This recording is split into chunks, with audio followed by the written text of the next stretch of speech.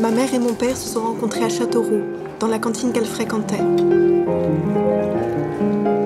Il y a trois sortes d'amour. L'amour conjugal, c'est celui que tout le monde veut. Ensuite, il y a la passion. Et ensuite, il y a ce que j'appelle la rencontre inévitable. T'aimes être une femme Oui. Pourquoi? Parce que je suis à toi. Mon histoire, c'est l'histoire. Il était rentré dans sa vie. Elle ne le voyait pas en sortir. Je t'aime, Rachel. Tu veux te marier Je sais pas, et toi Moi, non. Je vais pouvoir faire ce que je veux.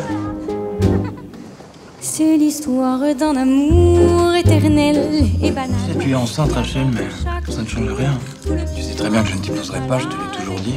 Évidemment, si t'avais été riche, ça aurait été différent. Celle où l'on se dit adieu. J'aimerais bien que tu reconnaisses Chantal? Je demande pas d'argent, ça m'intéresse pas. Votre fils Philippe et moi avons un bébé de 6 mois. Oui, je sais. Et je voudrais pouvoir lui donner des nouvelles de sa fille. T'as pas peur que ça te fasse mal de le revoir? Non, puis c'est pour Chantal, on voudrait qu'il la reconnaisse. Je suis pas reconnaître Chantal. Je me suis marié. Elle est trop dure la vie, elle est trop dure. Je lève ma fille seule depuis qu'elle est petite.